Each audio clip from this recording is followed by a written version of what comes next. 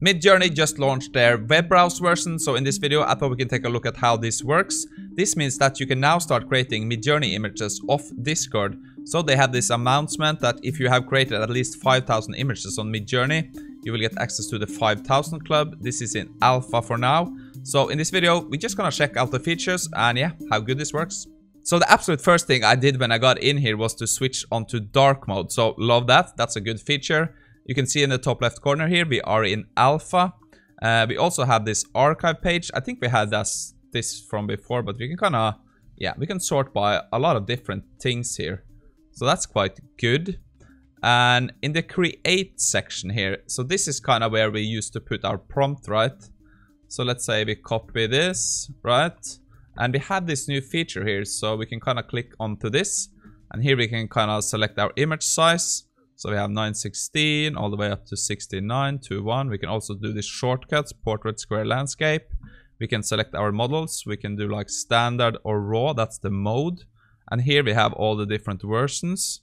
So 5 up to 6 and 5.1 and 2 and Niji 5. And we have some, we can select between relax, fast and turbo. That's good. And here we can kind of have a slider for stylization, weirdness and variety. It's pretty cool. So we kind of have our prompt up here now. So now we can kind of just, yeah, I want 500 stylize. I want the raw model. I want version 6. Okay. Uh, yeah, I want landscape. Uh, okay. So then we can just go back here and just click enter. And here we can kind of see the image is launching with all of our set um, features here, right? So this works pretty good pretty easy to set up, easy to work with, kind of like the UI here. Uh, I found another cool thing that we can do. So let's just let, let this run in the background. If we go to explore here, and let's say we just sort by top, that's fine. And yeah, you can just scroll down here, see if you find an image you like, right? I think, oh, that was pretty cool.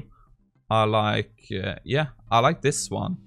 So what I found out you can do, there are these T here.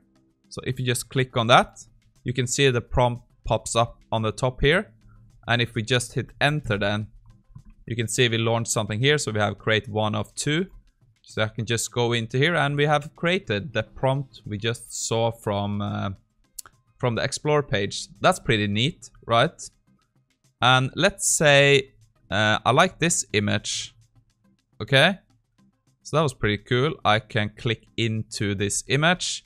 And here we can do some more. We can do variations. We can upscale. We can pan.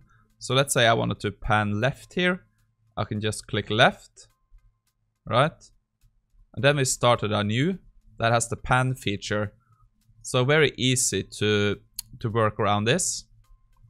And let's say we wanted to zoom out a bit on this image.